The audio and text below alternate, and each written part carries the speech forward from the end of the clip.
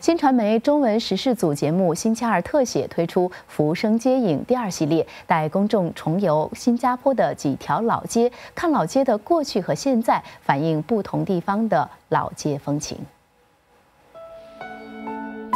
一共六集的系列将讲述牛车水的宫西街和克纳街的今昔对照，以及张仪和牙龙的独特发展。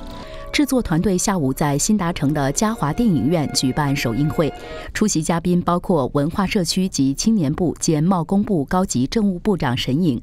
这些地方可能对很多新加坡人来说，它可能是一栋比较古老的建筑。不过大家不知道，这个建筑里面曾经呃发生过什么样的故事，有什么样的人物进进出出，而且他们在新加坡的这个历史上代表了什么样的意义。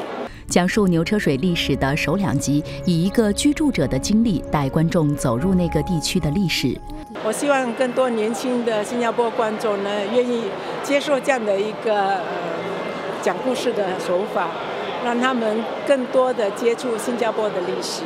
新系列节目还配合了电脑美术，希望呈现手法能给观众不一样的感觉，同时吸引年轻观众。很多人呢，对于所谓的三维电影，不管是声音也好，影像也好，都有一定的要求。所以我们这一次呢，也花了不少的心思，收集到一些照片，还有一些旧影像，啊，通过一些电脑制图，啊，希望呢能够给他一种立体的感觉。《浮生接影二》系列将从十一月十四号晚上八点三十分起在八频道播出。